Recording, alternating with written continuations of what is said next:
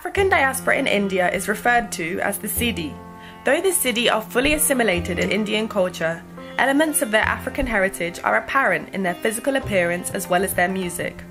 An estimated 25 to 60,000 people of African descent live in India today, with the highest concentrations in Karnataka and Gujarat.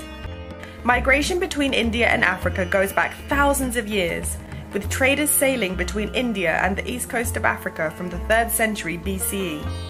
Africans and their descendants were regarded as exceptional warriors and bodyguards, and historically played an important military role in India.